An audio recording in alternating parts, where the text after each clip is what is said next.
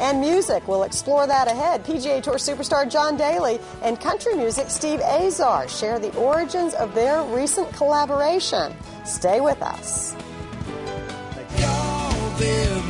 The song itself, it's about my life. I mean, there's no doubt about it, but it's about everybody's life in a way.